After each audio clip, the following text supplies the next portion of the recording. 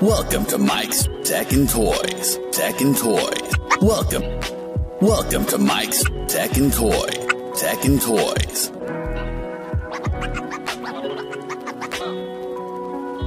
And today I unbox and take a look at the Philips PicoPix PPX 4935 Pocket Projector.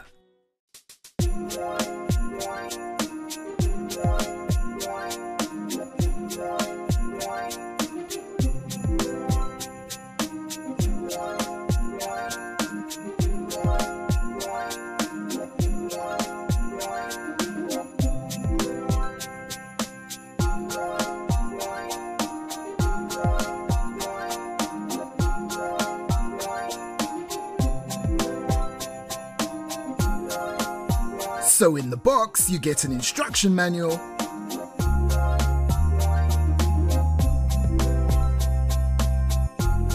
the projector,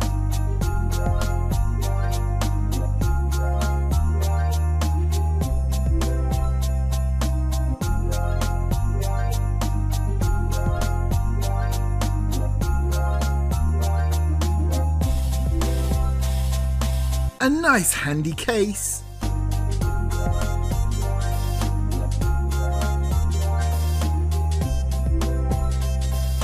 the power adapter, a remote control,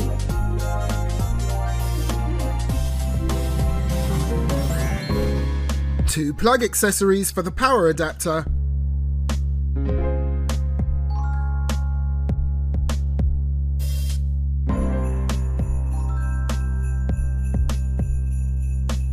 and a mini to full-size HDMI cable.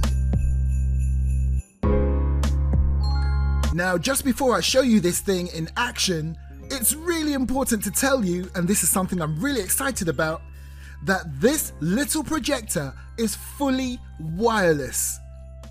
The only time you really need to use a cable is when you're charging it. And that's it. It's got a built-in battery, it's wireless, it has Bluetooth connectivity. I tell you what, let me just tell you the complete list of functions that this pocket projector has. It's an Android based remote control pocket projector. It has 350 lumens, 720p high definition resolution, so that's 1280 by 720 pixel. It has Wi Fi connectivity to other devices or to go online. It also has Bluetooth connectivity. You can even mount it on a stand or a tripod. It has an internal rechargeable battery, which will last up to two hours continuously. It projects movies, photos, and games up to 150 inches in widescreen. It has an integrated media player. It has wireless connectivity for notebooks, smartphones, and tablets. It has a micro SD card slot so you can play media directly from that card. It has a powerful built-in speaker, or you can connect it to a Bluetooth speaker for much bigger sound. It even has a touchpad on the top of the projector, exactly like one that you would find on a laptop. It has USB, HDMI, VGA, component and composite connectivity. It supports many different video formats such as AVI, MP4, DivX, Windows movie files, and more. It supports photo formats such as JPEG, BMP, PNG, and more. It also features manual focusing and manual keystone correction. Right, so the first thing you have to do is get it charged up. I believe it takes up to 3 hours from a flat battery to fully charged. And you'll know it's charging by this red light on the power button. That red light will change when it's fully charged. Right now, Whilst I activate my screen to come down from the ceiling, it's worth noting that this is truly a pocket portable projector so you can shine this image or whatever movie or photos that you want to project from this projector onto any flat surface, preferably white or off-white or cream, just something neutral and plain and you should get a nice sharp image. You don't have to have a screen like me to use this projector. In fact, that will defeat the whole purpose of a portable projector if you can't just throw the image up on any old wall. Now, as I mentioned earlier, it has a really handy touchpad on the top of this projector, so you can use it just like you would use a laptop's touchpad. Or you could just use the supplied remote control. So I'm just going through the initial setup of the projector. But please note, this is being filmed with a camera. So it's a camera effectively filming a screen being displayed on your screen. So if you see any flickering or any poor image quality, it's purely down to that. The fact that a camera is filming a screen being displayed on your screen. What I see right here is a pin sharp, perfect image. Right, so this is where this projector comes into its own. Would you look at this interface? It's showing me that I can have HDMI connectivity, I can open up a media folder, I can do screen mirroring so I can have my mobile phone and whatever I see on my mobile will be projected up onto the wall or a screen. And that will be the same for tablets and more. And get this, I can even go on the internet without the use of a laptop or a computer. And that's because it has its own built-in browser. I can also open up apps, and you have your settings mode. So right now I'm going to demonstrate how you can put a micro SD card directly into this projector and play movie files or display photos. And again, I must remind you, if you're seeing some form of flickering on your screen, I'm not seeing that. You're only seeing that because I'm filming a screen which is being displayed on your screen.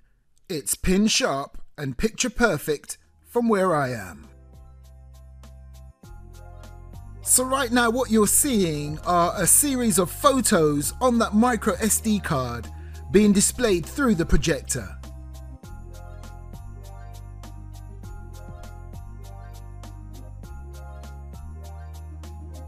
And remember, this projector can produce screen sizes of up to 150 inches. Imagine that. Imagine playing a movie for you and your friends using this tiny little pocket projector and you're getting a screen size that big. Awesome.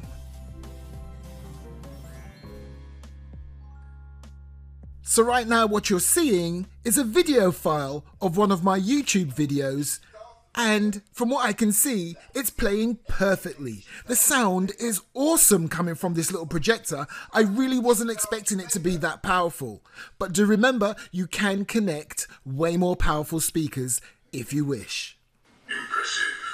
Most impressive.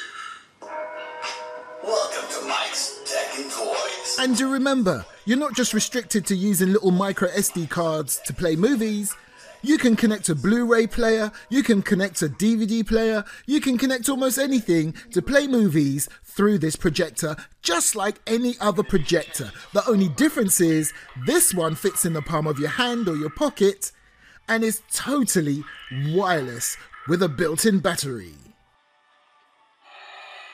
So I've just turned the lights on so you can truly see I'm holding this projector in my hand with no wires, cables or anything and you can see that you still get a pretty decent image even with the lights on. 48 inch Darth Vader Battle Buddy. So what I want to show you now is how to do the screen mirroring thing so that I can display whatever's on my mobile phone screen up on the wall.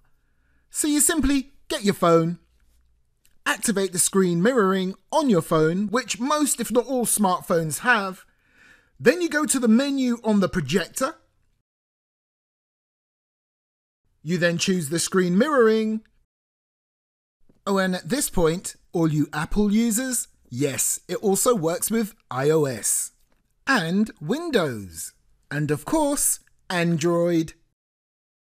And then in a few moments, your phone will connect and you should see PPX4935 on your mobile device. You then select it, and then you're good to go. And now anything that is displayed on my mobile will also be displayed on my wall or screen. And there it is. How cool is that? Now you will notice a little lag, but as far as the audio and the screen on the wall are concerned, those are synced perfectly. It's just a little lag between the signal coming from the phone and it being reproduced on the wall. And do remember, you can also connect your gaming console to this projector, like a PlayStation or an Xbox, and enjoy your gaming on a screen of up to 150 inches. What a fantastic bit of kit! So I'm going to leave you now with a series of screenshots of what you get within the menu system of this projector Make sure you check out the video description below for full specifications, where you can buy this from, and what sort of price you would be expected to pay. As always, thanks for watching, and I'll see you next time on Mike's Tech and Toys. Oh, and please do follow me on my social media. Details are also in the video description.